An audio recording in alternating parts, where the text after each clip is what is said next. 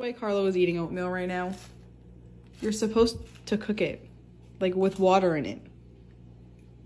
I can eat in this way. No, Why? What happens? nothing's gonna happen to you. But isn't that gross? Come on, it's gross. Sorry. You eat uh, pasta with avocado, you can eat oatmeal uh, raw oatmeal. It's good, you know? You want to try? No, I'm good.